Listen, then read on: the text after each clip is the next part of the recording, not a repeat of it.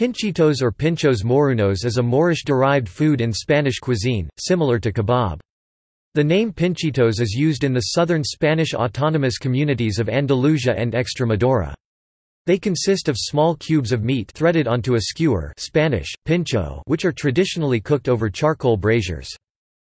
Similar dishes in North Africa or other Muslim-majority countries tend to be lamb-based, but pork and chicken are the most popular meats for the dish in Spain. Pinchitos are also extremely popular in Venezuela, due to the heavy influence Spain had in Venezuelan cuisine during many years. Pinchitos is one of the main dishes in Venezuelan barbecues, and are eaten almost during all year long. Besides lemon, bread, and wine or beer, depending on the region, it is served usually with boiled yuca, or, in recent years, with cherry tomatoes. Pinchitos are sold in street food carts all around the country, especially during weekends. In some regions, pinchitos are called pincho americano, American brochette, but the recipe is the same.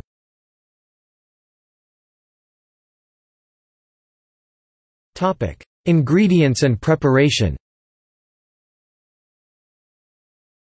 Pinchitos are usually made of lean diced pork or chicken, marinated with olive oil, and herbs and spices such as garlic, cumin, thyme, paprika, oregano, turmeric and pepper and seasoned with salt.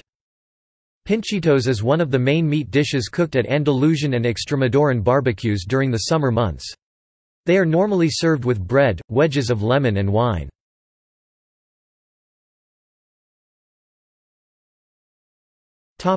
See also